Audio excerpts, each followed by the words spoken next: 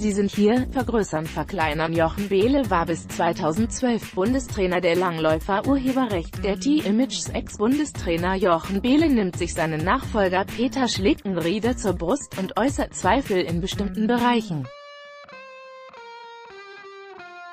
Der frühere Skilanglaufmeistermacher Jochen Behle steht dem neuen Bundestrainer Peter Schlickenrieder skeptisch gegenüber. Ich kenne ihn jetzt ja auch lange. Aber ehrlich, ich weiß nicht, ob er da der Richtige ist. Er ist sicher für das Verkaufen der Sportart, für die Motivation der Richtige. Ob er die Durchschlagskraft, die Härte und Konsequenz auch in der anderen Richtung hat, das muss sich zeigen. Da bin ich mir nicht so sicher, ehrlich gesagt, sagte Behle im Hinblick auf Schlickenrieders strategische Fähigkeiten dem Münchner Merkur. Schlickenrieder, 49, der derzeit bei der WM in Seefeld seine erste große Meisterschaft als Chefcoach bestreitet, zeige aber zumindest einige gute Ansätze. Ich glaube, dass in den letzten Jahren vor allem zu wenig Einigkeit da war.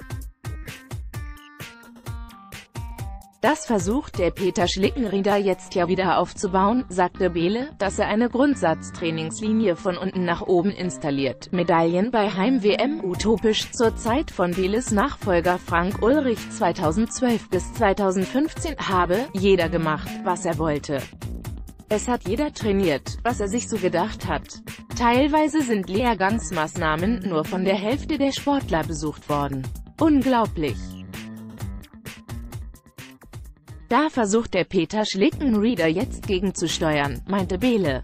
Der Willinger hatte von 2002 bis 2012 mit Leistungsträgern wie Tobias Angerer, René Sommerfeld und Axel Teichmann große Erfolge gefeiert.